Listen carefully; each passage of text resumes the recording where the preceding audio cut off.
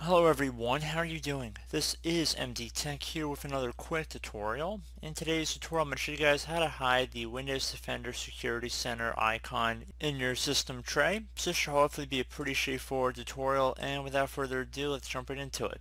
So we're going to just start by right clicking on a blank spot on our taskbar and then go ahead and left click on Task Manager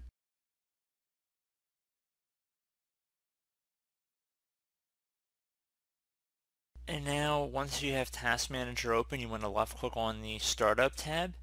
And then where it says Windows Defender notification icon, you want to just left click on them one time and then go down and left click on Disable. And there you go guys, you just disabled the Windows Defender notification icon. So pretty straightforward tutorial guys, do hope I was able to help you out and I do look forward to catching you all in the next tutorial. Goodbye.